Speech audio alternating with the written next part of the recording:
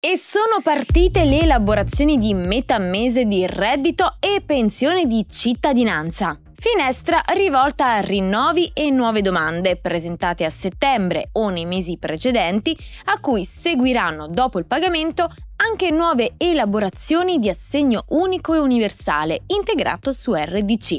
I soliti arretrati sparsi che arrivano a chi sì e a chi no. Nel frattempo continuano i pagamenti dell'assegno unico e universale a domanda che, dopo gli accrediti previsti per oggi 12 ottobre, trovano pubblicazione anche date future, allo stato attuale fino al 19 e vale la pena precisare che, a quanto pare, le famose maggiorazioni per la disabilità sono già in pagamento per chi ha fatto la domanda da luglio in avanti però non sono ancora iniziati i conguagli degli arretrati per le posizioni di assegno unico aperte da marzo o prima di giugno. Ciao amici di Radio UCI, io sono Giulia e continuiamo la nostra rassegna di oggi su novità e pagamenti, parlando molto rapidamente anche del trattamento integrativo ex bonus Renzi su NASPI in pagamento dal 17 in avanti. E no, allo stato attuale non ci sono ancora elaborazioni del bonus a 200 euro su NASPI né per la DS agricola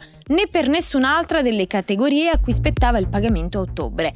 Da circolare, IMSS ha tempo fino al 31 del mese per questi pagamenti. Non appena ci saranno novità le troverai qui su Radio UCI, perciò iscriviti e metti like se non vuoi perderle. Passiamo adesso al 24 ottobre, giornata importante per il bonus psicologico, in quanto si chiuderanno le domande per questo contributo e da lì in avanti dovrebbe essere finalmente disponibile la graduatoria per gli accessi.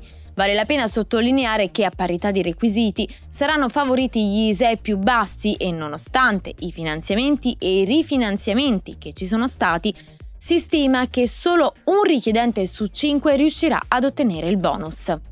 Arriviamo così a fine mese, quando per il canonico 27, a meno di sorprese di IMSS o di poste, ci sarà l'accredito della ricarica ordinaria di reddito e pensione di cittadinanza del mese di ottobre. Ricarica ordinaria, a cui seguirà l'elaborazione dell'assegno unico e universale integrato su RDC rata di settembre o arretrati e per finire una nuova tornata di elaborazione del bonus 200 euro su RDC per alcuni di quelli che non lo hanno ancora ricevuto, non tutti ovviamente, IMSS sta recuperando le elaborazioni a mano a mano. E in ultimo, prima di salutarci, un aggiornamento di natura politica, se vogliamo, sul futuro del reddito di cittadinanza, che può essere modificato ma non abolito, o almeno è così che si può riassumere la posizione di Giuseppe Conte all'Assemblea dei gruppi parlamentari del Movimento 5 Stelle di ieri 11 ottobre. Insomma, anche per Conte chi è idoneo al lavoro deve andare al lavoro,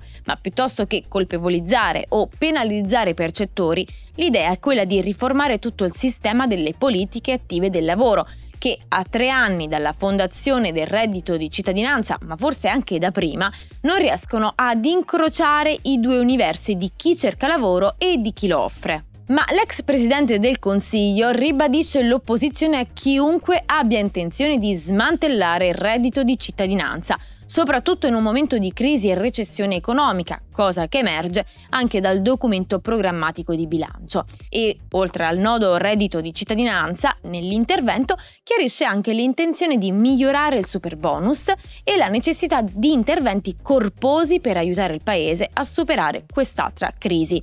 Per importanti intendiamo diversi miliardi di euro. E detto questo io ti ringrazio per aver guardato fin qui, se la rassegna ti è piaciuta lascia un like e noi ci vediamo nel prossimo video. Ciao!